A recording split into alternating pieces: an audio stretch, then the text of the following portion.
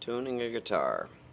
I've taken this guitar fairly out of tune here to demonstrate uh, what's involved with tuning. This is a nylon string guitar and uh, the strings, uh, if they're new, take a very long time to stretch in.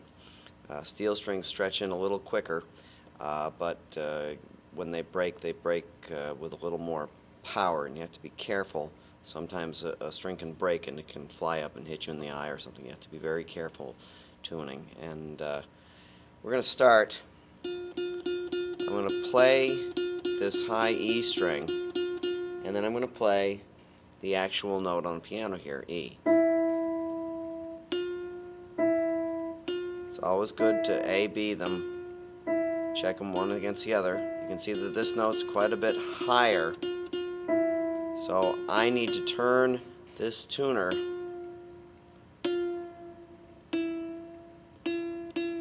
and I like to go a little bit lower than the note. I'm going to go a little bit lower and then come back up on. See, I'm still a little high there. That sounds pretty good. Alright, now the B string Is it low or is it high? It's low. So I have to go from there. Just a smidge more. That sounds pretty good.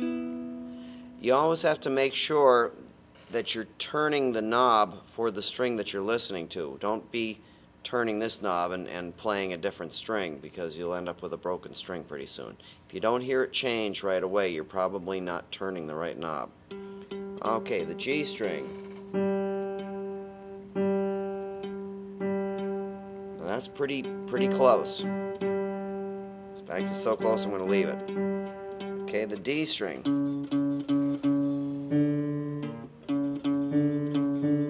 So you can tell that D is up a little bit. So I'm going to turn this this way a little bit. Always listening. Always listen to the note. Turn very gradually. And kids, definitely get a, a grown-up to help you when you try this. Don't try to do this alone. Tuning uh, is a very easy way to break strings. And the A string.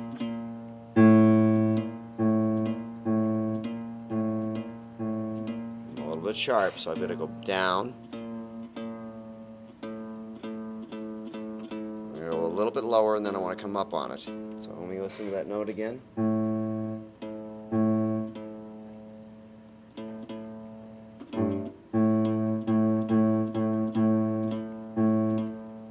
Very close. And the low E string, you can tell that that's really loose. There.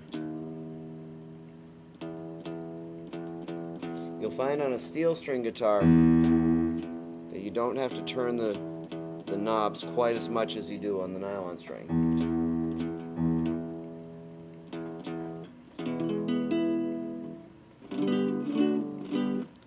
Pretty, pretty, pretty close.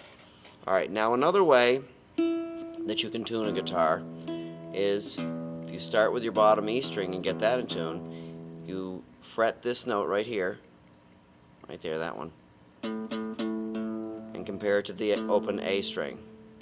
And then do the same thing with this one, comparing it to the open D string.